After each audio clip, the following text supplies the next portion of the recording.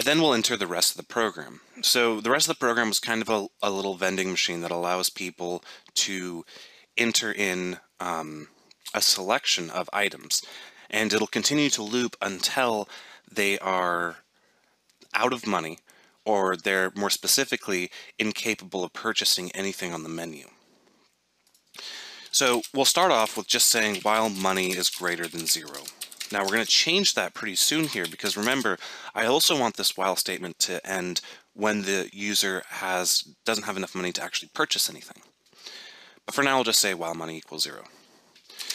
So now I have to print out my menu for the user. So I'll say console write line.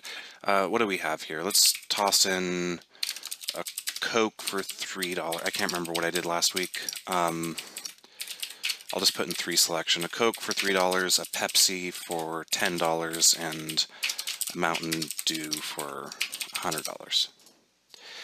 And then I'll go ahead and prompt the user. So just this line right here, 28, will just provide a nice little prompt for the user in the console.